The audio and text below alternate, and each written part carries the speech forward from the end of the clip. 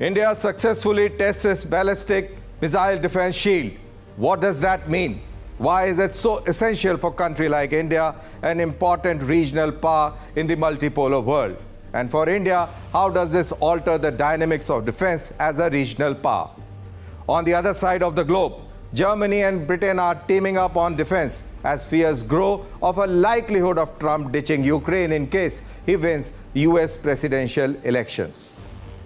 There on the battlefield of Ukraine, it is the drones that are scripting the future face of wars. India takes the cue and builds its own drone and robot army.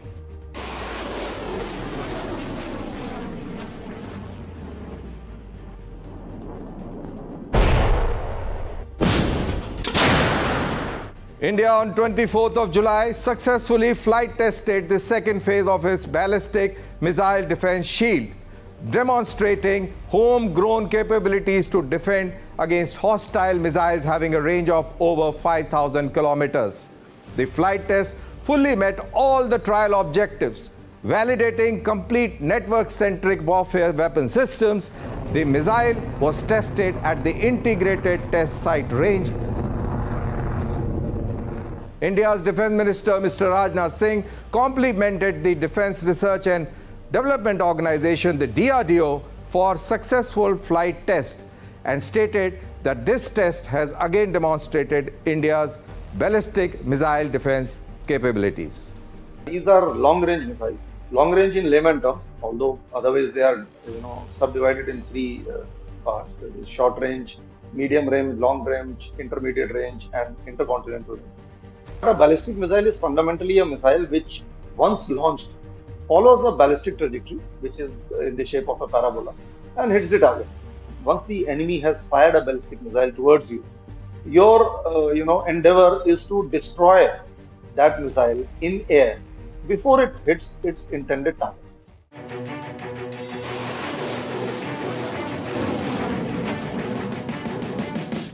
India's Defence Research and Development Organization announced that India has successfully flight tested Phase 2 ballistic missile defense system on July 24.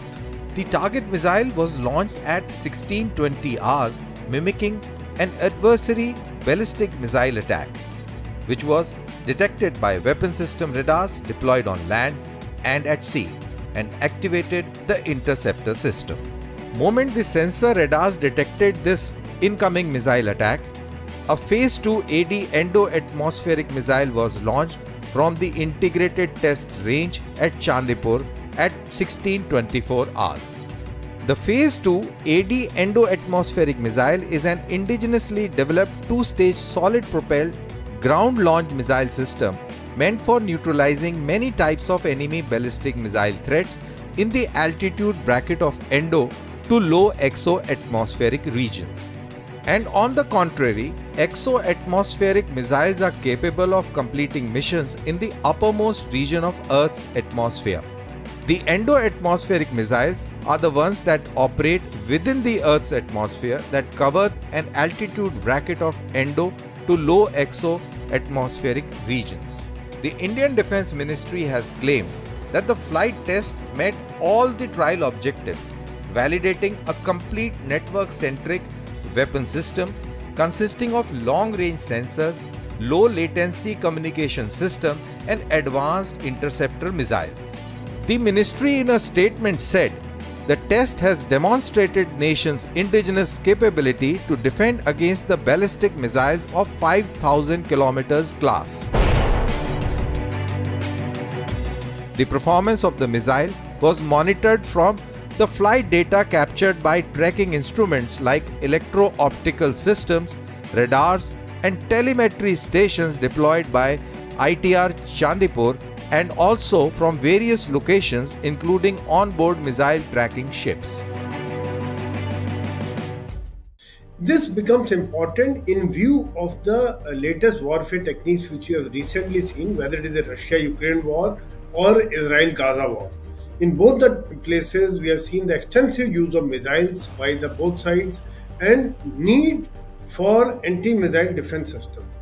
While we have, India has offensive missiles, but at the same time, there is a need to have anti-missile defense system